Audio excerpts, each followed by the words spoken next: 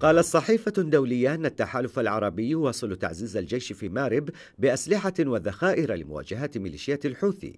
وكشف الصحيفة الشرق الأوسط نقلا عن قيادات التحالف مواصلة الدعم الكامل لوزارة الدفاع اليمنية المتمثلة بالأسلحة والذخائر اللازمة ميدانيا للوقوف في مواجهة انتهاكات الميليشيات الحوثية الإرهابية المدعومة من النظام الإيراني. وأرفقت الصحيفة صورا لما قالت أنه إمدادات عسكرية للجيش اليمني لكنها لم تظهر تاريخ الصور ولا تنقل ولا النقل عن أي مسؤول عسكري عربي أو يمني عن حجم الدعم. وقتل جندي في الجيش بمارب قبل أسابيع وله أكثر من عشرة رواتب شهرية ولم يتسلمها ولم يستلم معظم أفراد الجيش رواتبهم لعدة أشهر متتالية.